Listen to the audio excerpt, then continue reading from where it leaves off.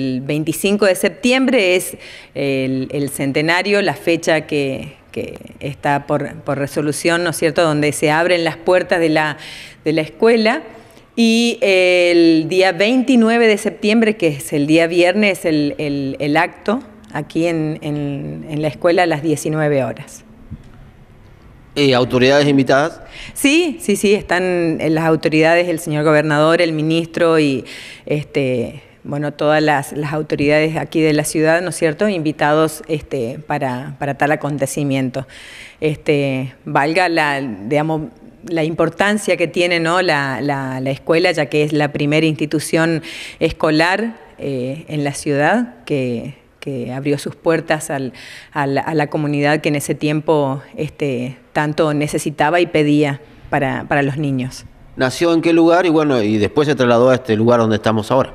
Sí, sí, comienza donde, donde comienza a funcionar la escuela, es en, un lugar que es cedido por el señor Godeas en 1917 y después eh, eh, se traslada a lo que es eh, la, casa, la Casa de la Cultura ahora. Bueno, y en el año este, 51 que se construye con el plan quinquenal, este, se traslada la, la escuela aquí. ¿Qué cantidad de alumnos asisten? Bueno, ¿y qué modalidades tiene la escuela 11 hoy, hoy día? La escuela eh, funciona en el turno mañana, en el turno tarde. Este, actualmente tenemos una matrícula de 760 alumnos. Eh, para la feria de, ciencia los, niños estuvieron trabajando acerca de toda la trayectoria, todo el centenario de la escuela y han sacado este, la cuenta estimativamente que por la escuela han pasado, sumando las promociones, ¿no? 7.600 alumnos.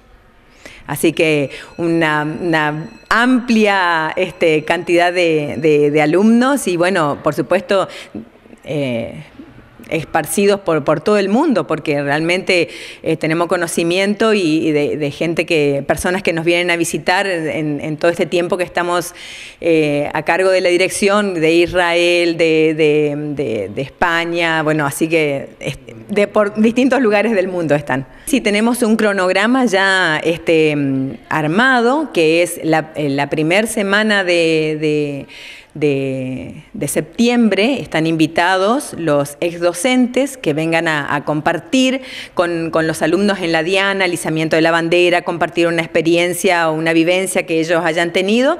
Y, y la segunda y tercera semana es para los ex alumnos, porque cedimos un poco más de día para los alumnos porque, este, bueno, son más, ¿no?